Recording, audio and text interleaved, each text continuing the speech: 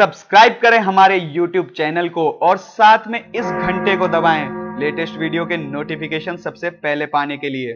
जाने माने वैज्ञानिक और E equal to M C square का फॉर्मूला देने वाले एल्बर्ट आइंस्टीन की एक दुर्लभ फ़ोटो नीलाम होने जा रही है। 14 मार्च 1879 को जन्मे आइंस्टीन के बहत्तरवे जन्मदिन पर खींची गई ये फ़ोटो नीलाम की जाएगी। इस फ़ोटो पर आइंस्टीन के सिग्नेचर भी हैं। इस कारण इस फ़ोटो की कीमत और भी बढ़ गई है। उम्मीद लगाई जा रही है कि ये फ़ोटो चौंसठ लाख रुपए से भी ज़्यादा में बिकेगी। आइंस्टीन दुनिया के महानतम वैज्ञानिकों में से एक है। मॉडर्न फिजिक्स के बहुत सारे सिद्धांत इन्हीं के देन है। 18 अप्रैल 1955 को छिहत्तर वर्ष की उम्र में उनकी मृत्यु हो गई। दोस्तों, अगर आपको ये जानकारी पसंद आई तो इस वीडियो को ज़्यादा से ज़्यादा लाइक और शेयर करें।